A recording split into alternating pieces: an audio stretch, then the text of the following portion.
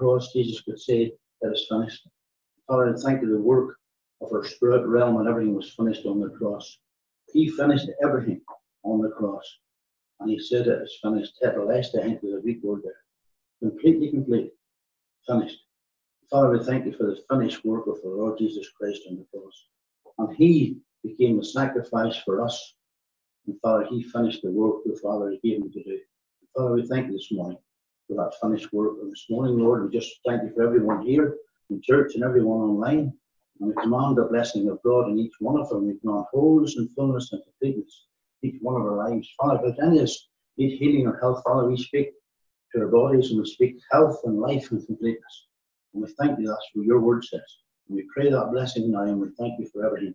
And we pray, Lord, Jesus could say the Spirit of the Lord is upon me. We just want to pray the Spirit of the Lord is upon me. He's not able to preach. Thank you.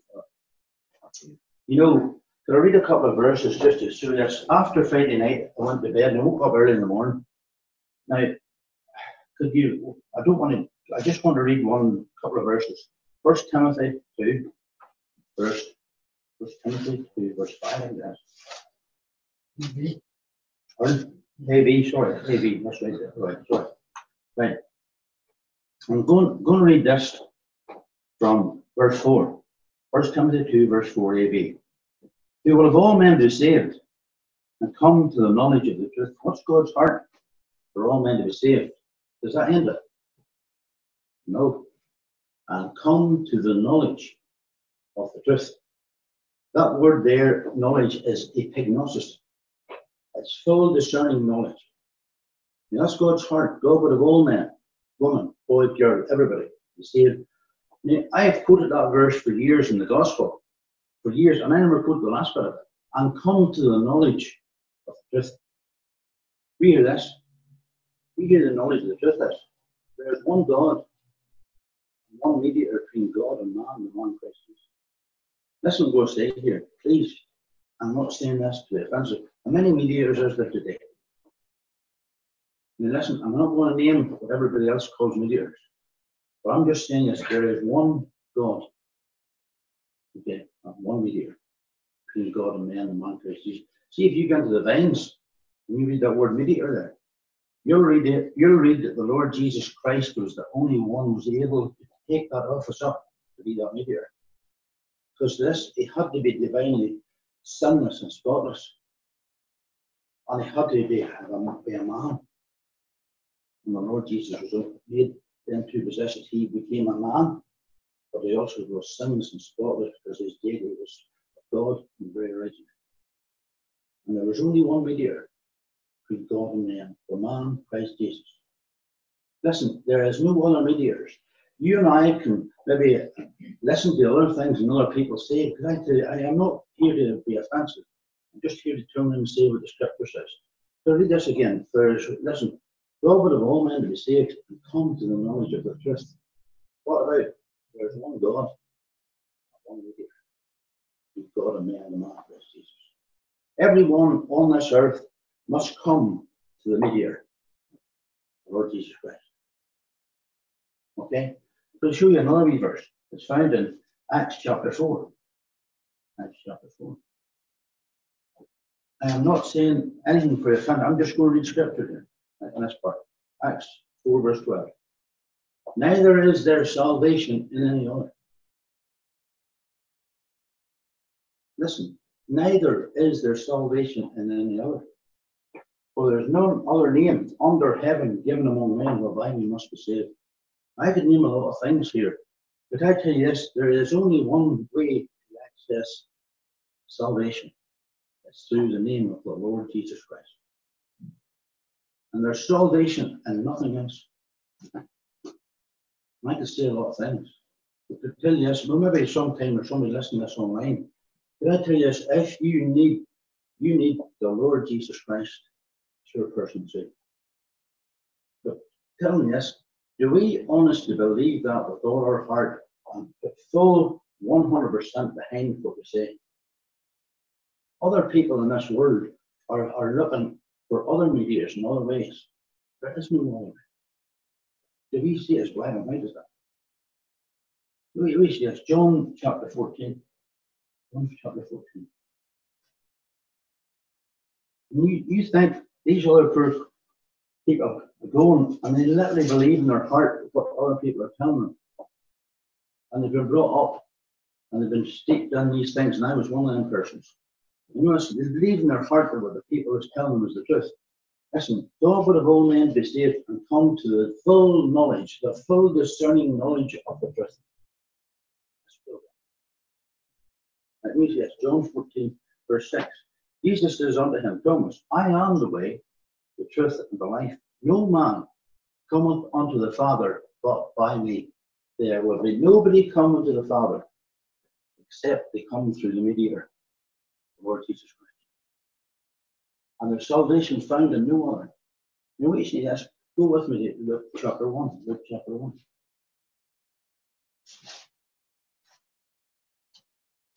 Luke chapter 1. Right.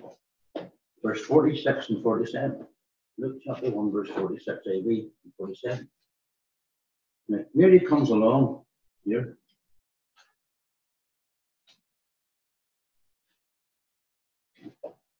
And this what we read here. Luke 1, verse 46. And Mary says, This is the Magnificat. My my wife told me she learned the mag at schools, Sunday school, she learned to magnify the God. And that's what we're called Magnificat. And she went home and told her sister, What we learned the day at Sunday school, I learned to magnify the God. And this is it. And I was asking her, no, I was last week I asked her, tell me this, what does the magnify the God say? And this is determined and says, I said, and Mary said, My soul doth magnify the Lord. Now listen, Mary's soul was magnifying the Lord. Was her soul magnifying the Lord all the time? Probably not. But we're soulless. And sometimes when we have cares and problems, we're not magnifying the Lord. We're way down with our soul realm and all the cares. But at this point of time, Mary says, This my soul magnifies the Lord, and my spirit hath rejoiced in God my Saviour. I'm going to say here. Again, I'm not saying we need a Saviour. And she realized it was in God. Listen, I. And my spirit hath rejoiced in God my Saviour. I only ever seen that before. Other people put other people up as mediums. But all I'm just saying here is there is one God and one mediator. And everyone needs to come to the Lord Jesus Christ, even Mary here. You see that there, but see that there if you go to Luke chapter 10. Luke chapter 10. Luke chapter 10.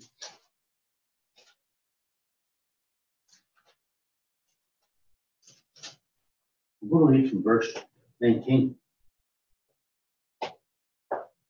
Uh, from, I'll read from verse 17, Luke 10, verse 17 AV. Luke 10, verse 17 AV.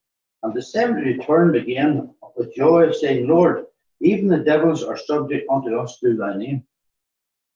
And he said unto them, I beheld Satan as lightning falling from heaven.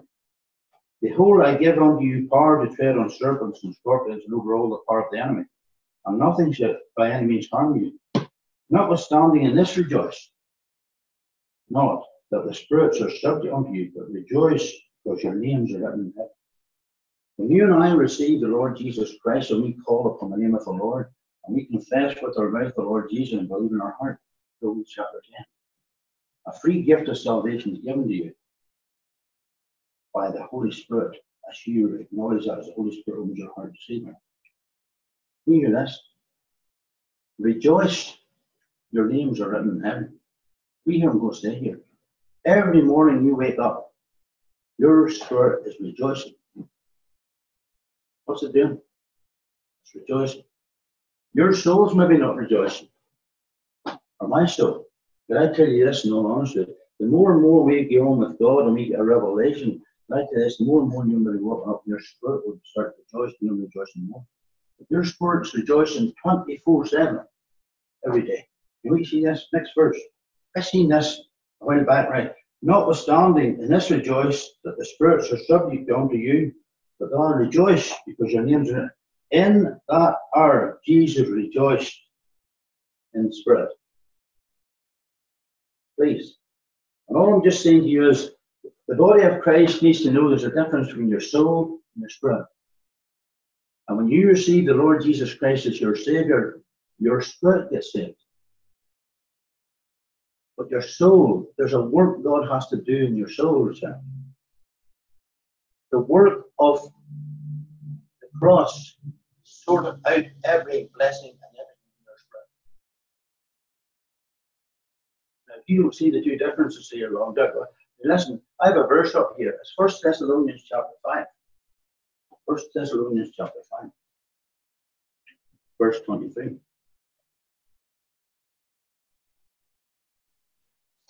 See, everyone online and in here, see if you and I don't grasp what happened the night we got saved and all this happened in our spirit. Did I tell you yes, you will struggle with the Bible, but you'll read things and you'll say, and you think, well, I'm not doing this right. I can't be saved, or I'm not walking right. Well, I can't be saved because so and so or such and such is this.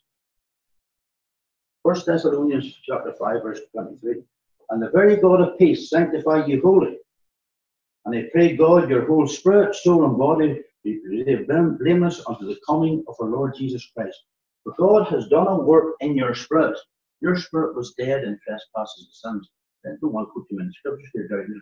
First Ephesians 2, verse 1 to 3 would tell you your spirit is dead in trespasses and sins. When you've come to the Lord Jesus Christ and received Him as your personal Lord and Savior, confess with your mouth and believe in your heart, you spirit is regenerated, born again. And that's what Hebrews 12, verse 23 will tell you, baby, the spirits of just men made perfect. By, listen to this wee bit, by the gospel. How's, how's it? By the gospel, by the true gospel. And I'm speaking on Friday night about the true gospel and this dispensation. And the true gospel is a, listen to this, it's a free gift given by God. Right? And there's nothing to be, you don't have to do anything to earn it. It's a free gift. And Jesus said, it finished on the cross. He finished the work for us. The free gift the Lord Jesus gives. Okay then. When we come along, we incline it. and I was saying on Friday night, listen, maybe you haven't maybe with this teaching out. Wait, I'm going to put, I'm read this verse again. First, Acts chapter 11. Now, again, I'm not reading this to offend anybody. Just Acts chapter 11. I'm going to read a verse, two verses. Okay. Now, there's a whole pile of different gospels out there. Okay. Right. And if you read second Corinthians 11, verse 3 and 4, you talk about there's another Jesus, another gospel, another spirit. Right? That's what it says there. We hear this. Peter comes along and he starts to preach a message. I'm going to show you this week now. I'm saying this was Friday night. I'll read from verse 13. Right. Matter of fact, reading verse 12. And the Spirit bade me to go, 1 Corinthians 11, verse 12, 18. And the Spirit bade me to go with them, nothing doubting. Moreover, these, these six brethren accompanied me and went into the man's house, and he showed us how he had seen an angel in his house, which stood and said unto him, Send men to Joppa and call for Simon, whose surname is Peter. Listen to this wee bit. Who shall tell thee words, whereby thou and all thy house shall be saved? That is the only thing we need to do as born again believers. All we need to do is know the truth and speak the truth. That is only our job. It's not my job to convert you or convert anyone. For by the way, I can't convert anyone. Please. And we hear this. We hear this. As I began to speak, the Holy Spirit fell. See that? What? What? See the words that Peter spoke. What happened? The Holy Spirit fell. That was in your Bible. Right? What's this now? As I began to speak, the Holy Ghost fell on them, us off on us at the beginning. So the role of the born again believer today is to speak the message so that the Holy Spirit can fall on those believers. Now, the believer, unbeliever will need Acts 16, verse 14, the Holy Spirit to open the, the unbeliever's heart. You, you need an open heart to receive the message. Okay? On them the Holy Spirit falls. whenever they have an open heart for the unsaved. Next, Matthew, oh, right, Luke 24, verse 45 will tell you Jesus come along and open their understanding. And we should be praying for unsaved an open heart to receive the message. And for those that are saved, Father, just pray for an open understanding. That when the truth is spoken, the Holy Ghost will fall and they will be able to see the revelation because they have an open heart, an open understanding to receive that truth. And we do this. Peter comes along, he preaches here, and he says this, as I began to speak, the Holy Ghost fell, verse, fell on them, and that's the beginning. Going down to verse 17. For as much then as God gave them the like gift as he did unto us, we believed on the Lord Jesus Christ. Okay? what was I that I could withstand God? And I was saying on Friday night, if you go into Acts 10, read the whole of Acts 10, and then read Acts 11 down to 1 to 18. And if you want, go back over again. You see how Peter was told by the Holy Ghost, and Peter was a Jew and still lived in his life customs of the Jew. And he was still, even though he get saved, he was still holding on to the customs of the Jews religion. And that was holding the mindset inside himself. And he didn't believe that he would go and do this or that because the Jews teaching in his mind wouldn't allow him to do that things. And here's the key to this. What please this verse here. Much then as God gave them the like gifts he did unto us, who believed in the Lord Jesus Christ, what was I that I should withstand God? Now listen this next verse. When they heard these things, they held their peace and glorified God, saying, Then hath God also to the Gentiles granted repentance unto life. When you preach the, the true gospel in this dispensation, God grants repentance. Please, God grants repentance. We don't have to tell believers in this dispensation, repent and believe, because that's a work. Repentance, if you have to do it, is a work.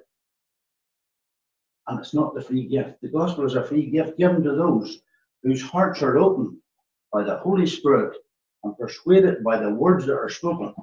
And that's a word called peitho in the Greek. And that's under the word obey, peitho. And it's the words of the truth of the revelation of the word. Truth persuades the believer into doing it. So the unbeliever's not believing, but it's the truth of the word is persuading the heart of the unbeliever to believe. And it's all of God. Can I tell you this? In this dispensation, to teach, it's the same way. The, the word of truth is spoken. The Holy Spirit opens and persuades the, the believer's heart to believe the revelation. And it's all of God. It's got nothing to do with man.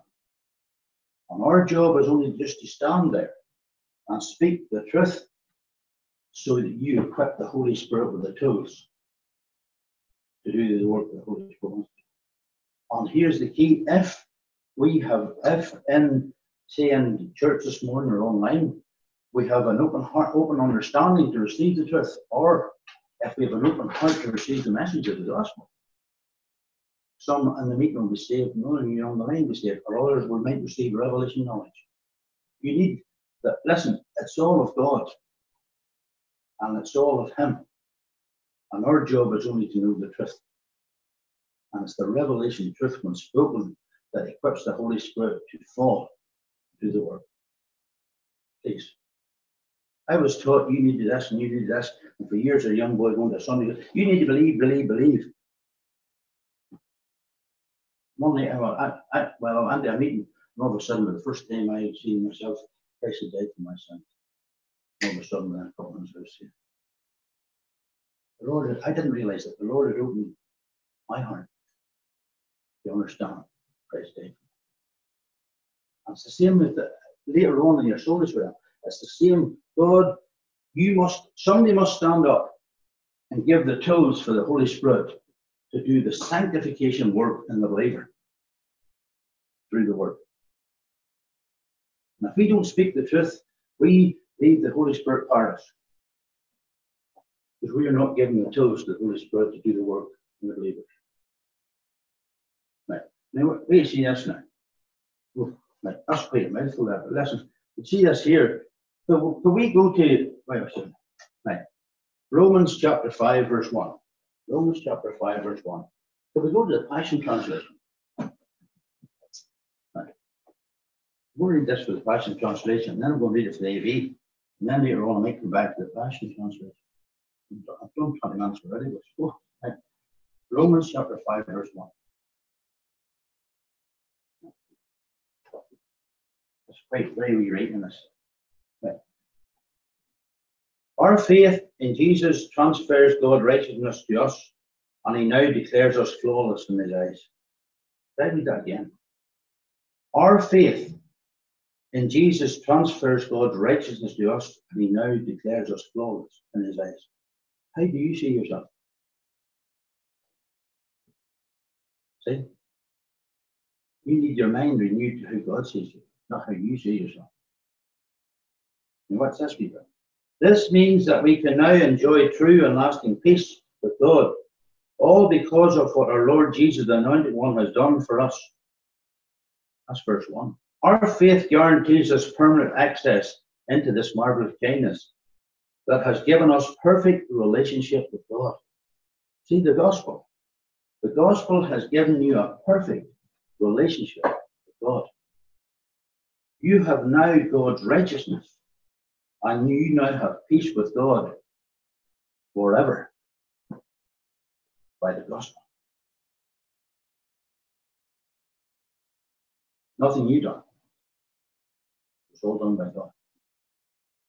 Here this morning, see us here. I see the difference is what I like to see this morning is this verse says I pray your whole spirit, soul, and body will be See this morning, I know I'm going back again. If you don't know what happened in your spirit, you're going to struggle. But the simple reason is if you don't walk right in your soulless realm, everybody and you will think you're not right, saved at all. And completely see the difference is that's not what you think, it's what God says you are. And God says, by the gospel, the Lord Jesus Christ made you righteous, and you are perfect, and you are complete, and you have God's fullness in every moment. But you need to know that in your minds. And that's where a pile of believers are struggling, believer. But what's this here? What's the difference? The difference between justification and this morning I would just like maybe I'm going to get you, I'm just going to get a wee bit of justification. The difference between justification and sanctification by the gospel, God has declared you justified. Nothing you done. The Holy Spirit came along, the truth was spoken, Christ died for your sins, your heart was open, and you received the Lord Jesus Christ. And you called upon the name of the Lord, and if you confess with your mouth, you step into all the blessings of God. Please. You don't understand what's going on, I said, I don't, please, I don't mean to be cheeky. If you've made that relationship with God, every spiritual blessing is on your life. And it was all given to you as a free gift. And that's all in your spirit. And see, you need to know this. Because this does something inside you that supercharges you. And you realize today, because of what the Lord Jesus done, the one God and one mediator, He done it all on the cross, and He restored and brought a free gift into my life and brought me into this a relationship with God, which will last forever. That's all God. That's quite a mouthful. You know what's here? Could I show you this wee bit? I want, I want, I've written this down. The difference between the two gospel justifications, eh? the work of the Holy Spirit, right? Justification happened the night you received the true gospel. God declared you righteous. That work was done. Problem is your mind is not renewed. You don't understand maybe what righteousness means or justification means. You need to run deeper into the scriptures to understand. But the work of justification was done by the gospel. And that work was done in your life. Okay. We, we see this wee bit. We hear, I'm going to read this, we I've written this down. Justification is the work of God on the sinner when the true gospel is preached. Okay, justifying of the sinner is once for all and forever. Hebrews Hebrews 12, verse 23. Rephrase it, Hebrews 12, verse 23.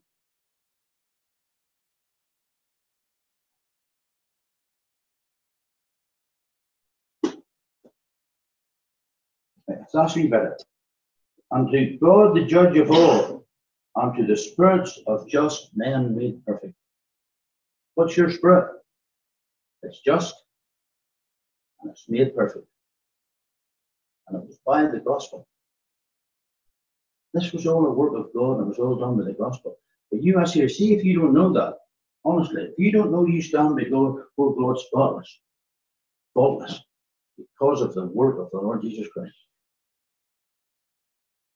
And see, oh, again, religion and every our religious mindset would have us doing works. What for? You can't add any more to that. The work was done by the Lord Jesus Christ on the cross. All you had to do was, you didn't realize this, the Holy Spirit opened your heart. You heard the truth. The truth persuaded you. And God supernaturally saved. And what we should be doing today? We should be rejoicing. Hallelujah. Why? See today, right. But I say this all a wee bit. God justifies the sinner forever when the gospel persuades the sinner, thus bringing in the work of justification into the sinner's spirit forever by the true gospel. That's what your spirit is. Remember, I told you, pay your whole spirit, soul, and body. God has, your spirit is perfect, complete, everything's done. Do you know that?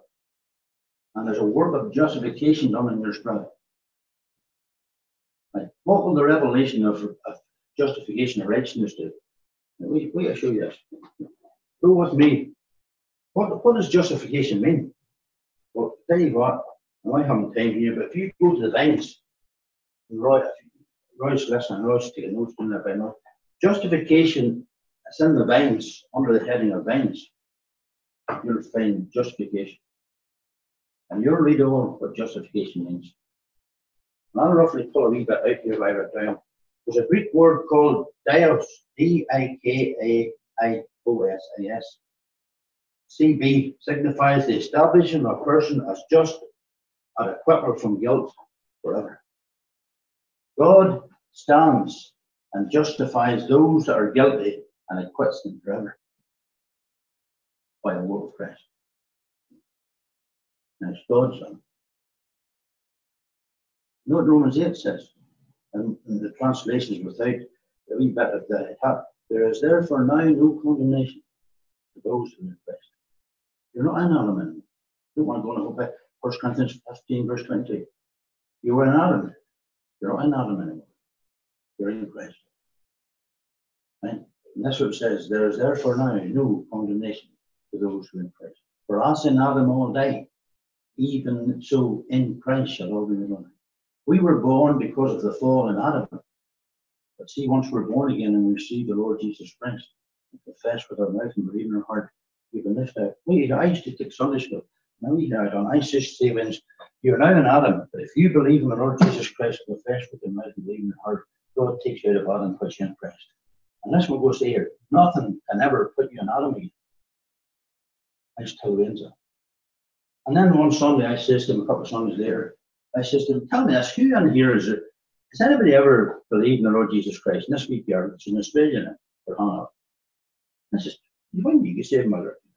Mother, she says to me, remember the day you turned around and says to me, when you told us that if we believe in the Lord Jesus Christ, we'll be taken out of Adam and in Christ. Well, that day I just went home and I says, Lord, again, the Holy Spirit was over her heart. And she seen the truth. She got a revelation. Christ died. And she believed in the Lord Jesus Christ. He says, Mrs. Turner says to me, Wally, I just simply believe what you told me. I believe in the Lord Jesus Christ. If I ask you a question, you like to tell us you're not. Please, that's as simple as that. But here's the key. People go to church and get saved, they don't realize what happened to them. God declares them righteous, perfect, forever by the gospel. And what? Will you show me this? Right. So what does justification mean? Right. The establishment of a person as just at acquittal from the guilt of the church. Now God has done.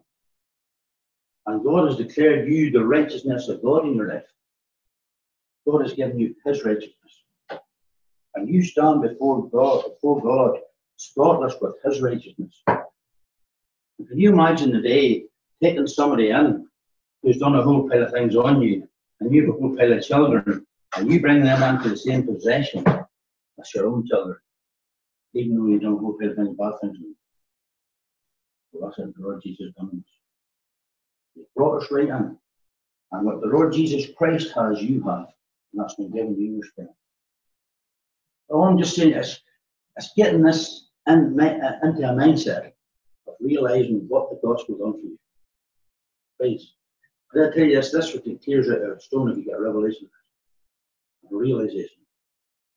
With me to Isaiah, Isaiah 32, verse 17. Isaiah 32, verse 17. Read that statement. Isaiah 32, verse 17.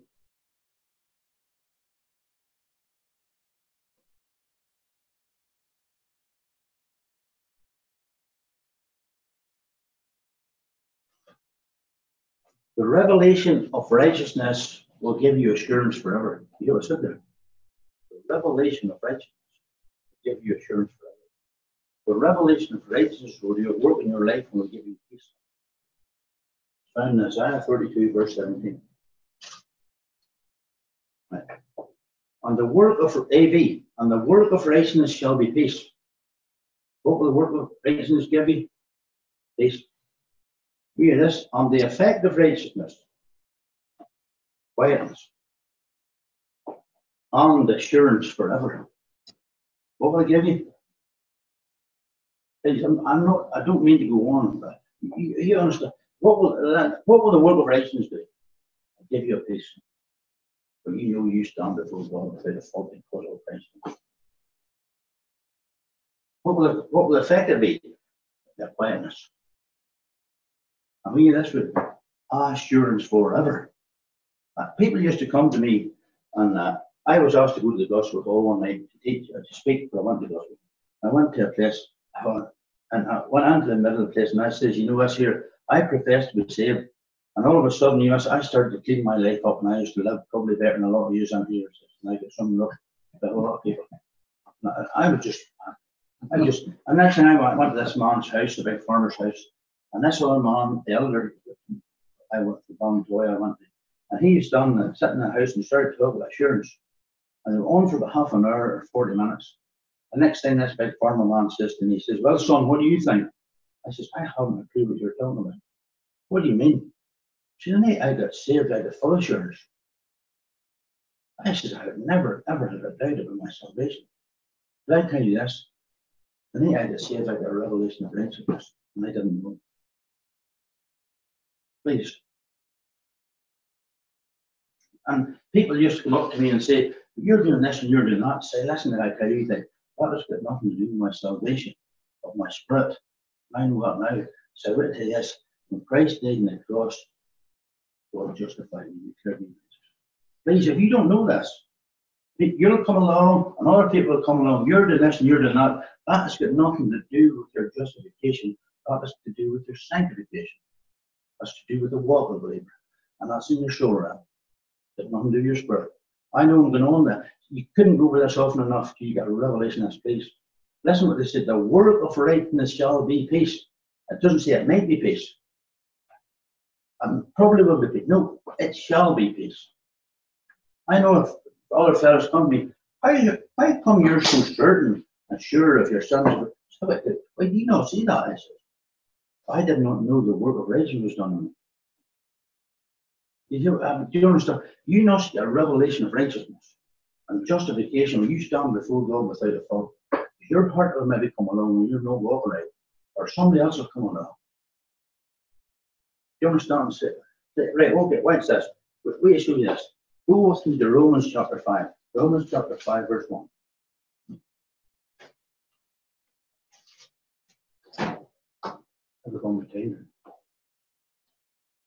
35, not right. Right. Romans 5, verse 1.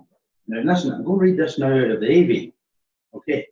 We read it already the New uh, Passion Translation. Right. Therefore, being justified by faith. Okay, how are you justified? God persuaded your heart on the faith rose up and you touch it.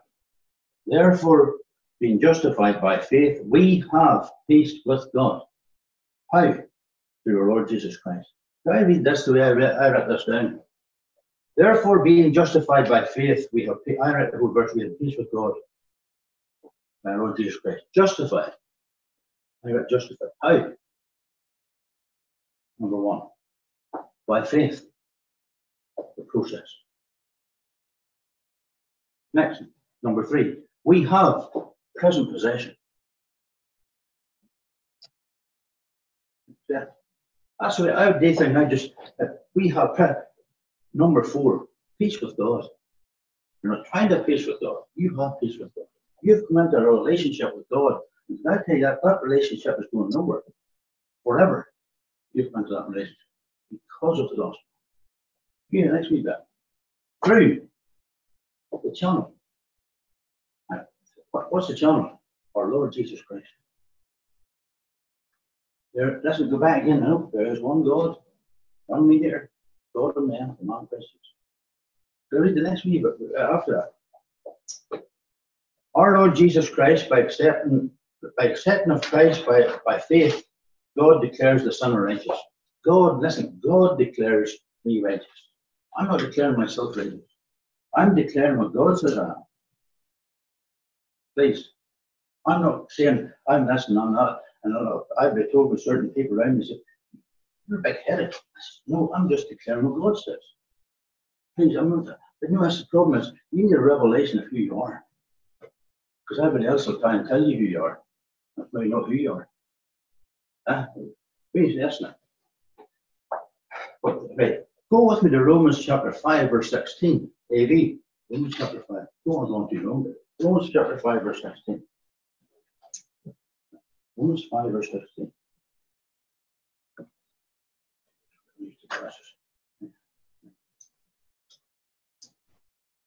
AV. And not as it was by one a sin, so is the gift. For the judgment was by one to condemnation, Adam, but the free gift is of many offences unto justification. God has given you a free gift, the gospel, unto justification. The order unto justification. The gospel led you to justification. You received it. To the next verse. Right. Verse 18. Skip 17. Go back to that Therefore, us by the offense of one judgment came upon, all the condemnation. Because of Adam, sin, all were condemned. Go hear this read Even so, by the righteousness of one, the free gift came upon all men unto justification of life. Tell me this the free gift of the gospel came unto justification of life. Please, honestly, you need a revelation of justification and righteousness. I'm not keen by the gospel. Justification of life forever. Now listen, can I read another wee bit? Right? Romans chapter Romans chapter 4, verse 25. Make it back to verse 17 for the times when by it. Romans chapter 4, verse 25. Romans 4 AV. Right. Who was delivered for our offences and was raised again for our justification. Why was Jesus raised? For our justification. Christ died, he was buried, and he rose from the dead. I was preaching last Sunday. I was saying, you as Christ, Jesus says, I am the resurrection and the life. And you must hear this man come up to me and shook my arm. And next thing he says, I really enjoyed that message there. And he's going to preach in another place on Monday morning. On later on. He says, I just went and preached in the resurrection. You need to preach in the gospel. Christ died. He was buried, but Christ rose again. And he was raised for our justification. And we stand today because of the work of the Lord Jesus Christ. Justified. I have a lot more things to say here, but wait, wait, wait, wait, wait. Right. Right. God has put you into a place of positional righteousness. You ever said that? What has He put you into? Your justification is a place of positional righteousness, and it's in your spirit. But God has a work to do in each one of us called a personal uh, or a practical righteousness, which is a work in our soul. But you must get the first one right first. Personal righteousness. God declares you the soul by God. And God declares the sinner not a sinner anymore. This sinner is now righteous and he's a sin or for a sin forever.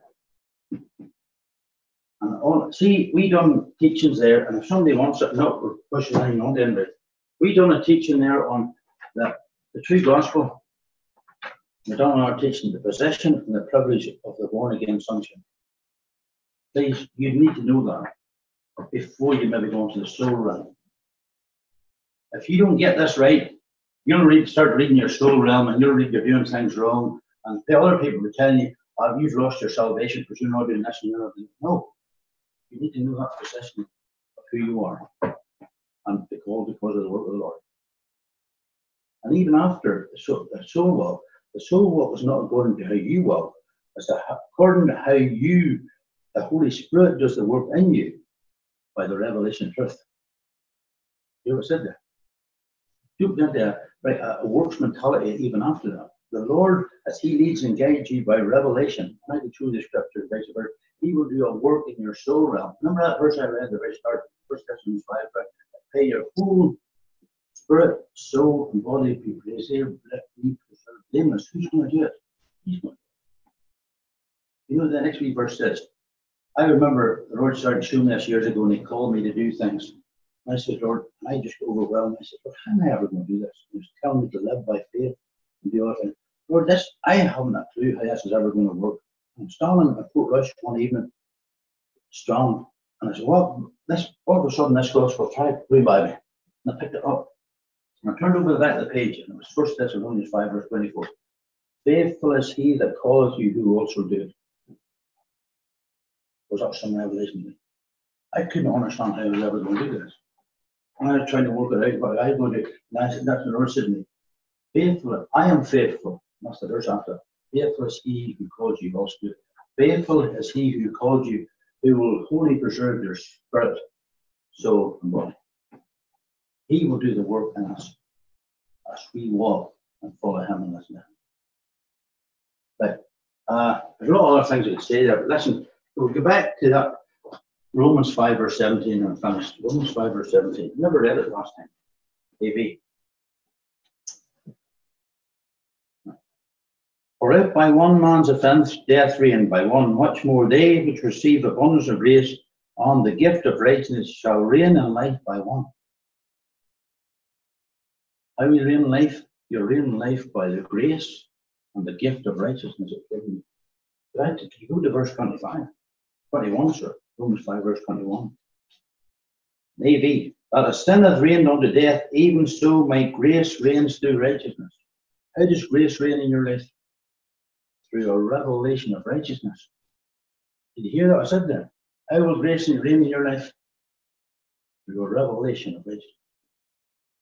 And the first, this morning, you need to know positionally you have been given and made righteous and justified in your spirit. God has declared you righteous with his righteousness. How many times? 2 Corinthians 5, verse 21. He made him to be sin for us who knew us that we might be made the righteousness of God in him. What righteousness you made? Made the of God. And listen, the day you stand before God without a fault, and listen, here's the key. I went to that other fellow the very last week. Can I tell you this in all honesty? You stand before him without a fault. And we, we're preaching the gospel here now. I was standing Friday night uh, definitely go finish. First Timothy 2 verse, first, sorry, Second Timothy 1 verse 10. I'm not going to go to verse 9 first, starting verse 9 and start again. Second Timothy 1 verse 9. Right. Second Timothy 1 verse 9. Right. Just go read verse 9, I'm going to speak on. Who has saved us? And called us. Did you know that you saved, you were called? Oh, but did you? Did you know you were called? the holy calling. Not according to his, not not according to our works, but according to his own purpose and grace, which is given us in Christ before the world began. Listen, there's a purpose and grace given to each one of us with a holy calling. And on your life see it. Reading this now. That's the bit. I spoke with on Friday night, so this is, this is. Don't want to speak, I just want to finish with this bit. And of course I close the Bible. This is.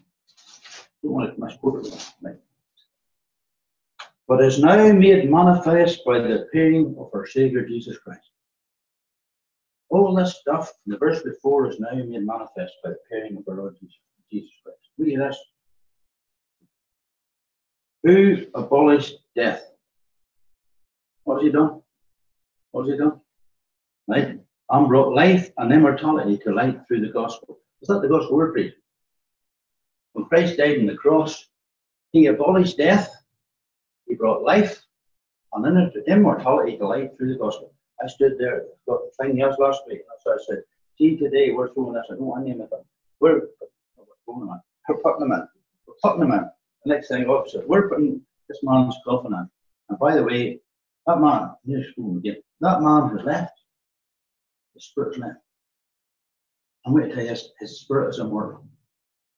It will live forever. And all we're doing is putting in the body. This man that we put in here a born again believer. The spirit is absent from the body present with the Lord, 2 Corinthians 5, verse 8.